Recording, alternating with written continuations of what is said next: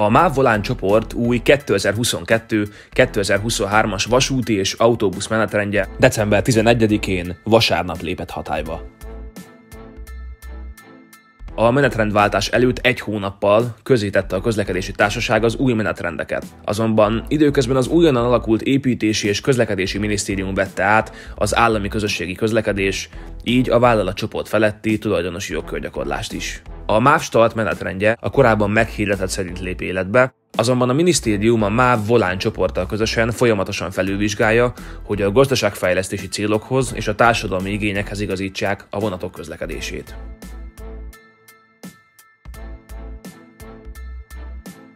A Volánbusz arra törekszik, hogy lehetőség szerint a minden érintett számára legkedvezőbb megoldásokat dolgozza ki. Az előzetesen meghirdetett változások nem lépnek érvénybe Gödöllő, Aszód, Bag és Tura térségében.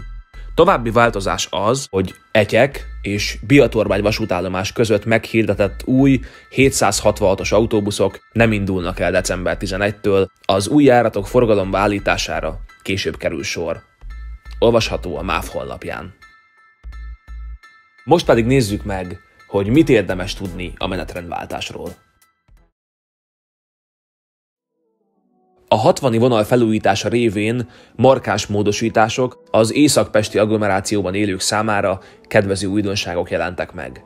Mátra interrégió elnevezéssel új, óránkénti közvetlen összekötetés jött létre Budapest és Gyöngyös között. Az elővárosi és a távolsági üzemidő is bővül a hajnali és az éjszakai peremidőszakokban. Az interrégió vonatokkal együtt reggel csúcsidőben 15 percenkénti kiszolgálás valósul meg a Szód és Bak felől a fővárosba. Vámos-Györk és Budapest között a Mátra és az Egri Agria interrégiók révén félórás ütemben közlekednek a vonatok a korábbi 60 perces ütemű közlekedés helyett. Főként az utasforgalom szempontjából kiemelt napszakokban a 60 gyöngyösi vonalon is forgalomba állnak kis emeletes motorvonatok. Az intercity a menetrendváltástól megállnak 60-ban. Budapest és 60 között felármentesen vehetik igénybe az utasok az intercity -ket. Ez a salgó vonalról átszállók számára is fontos, mert a vonal települései és Budapest között így 25 perccel gyorsabb lesz az utazás a gyorsabb átszállásnak köszönhetően.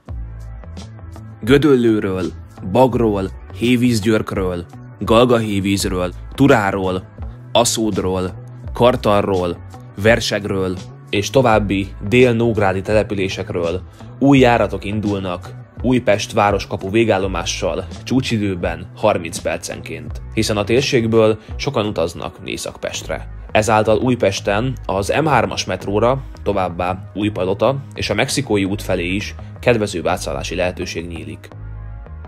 A budapesti agglomerációnak az egyik nagyon fontos szeletében, a 60 vonal mentén létrejön a teljesen integrált MÁV Start, Volánbusz, Hév tarifaközösség.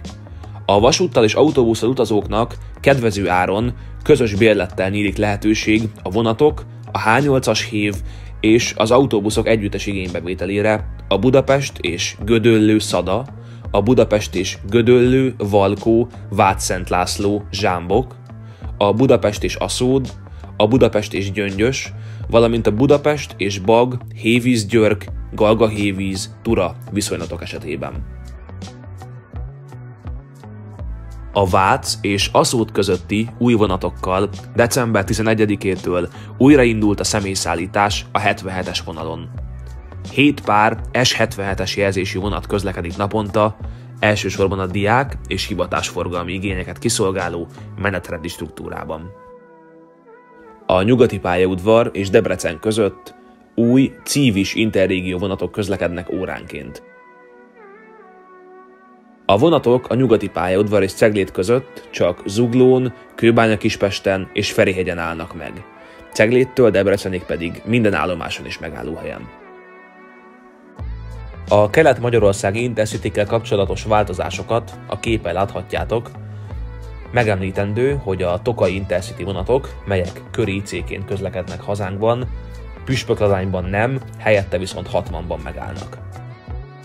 A Pécsi vonalon az Intercity vonatok egységesen a Mecsek IC elnevezést kapják. Ezekben első osztályú prémium és bistró szakasszal ellátott IC plusz kocsik is közlekednek a jelenlegi első osztályú IC kocsik helyett. Dinamikusan nő az utasforgalom a Budapest környéki elővárosi vonalakon a számos fejlesztésnek és szinte kizárólag korszerű motorvonatok közlekedésének köszönhetően. Az utasigényekhez igazodva hétköznap esti órákban és hétvégén napközben a legnagyobb utasforgalmú elővárosi vonalakon sűrűbben közlekednek a vonatok a menetrendváltástól, ami félórás követés jelent a 60 perces helyett. A MÁV Volán csoporton belüli buszos és vasúti alágazati együttműködésben Veszprém és Ajka között a helyközi autóbuszok szolgálják ki a településeket. A Volánbusz több, jelenleg is közlekedő autóbuszjáratát, útvonalát módosítja, illetve meghosszabbítja Veszprém vasútállomásig. A Dombovár Dékényes vasútvonal esetében szintén a MÁV Volán csoporton belüli ágazati együttműködésnek köszönhetően a helyközi autóbuszok szolgálják ki a településeket.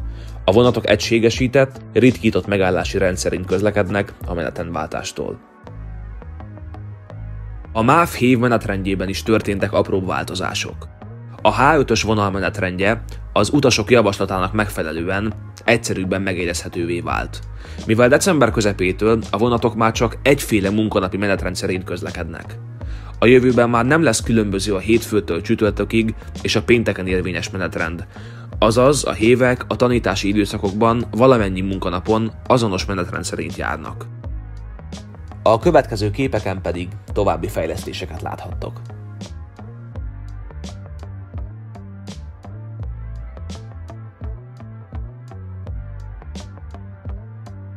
Ezennel elérkeztünk a mai videó végéhez.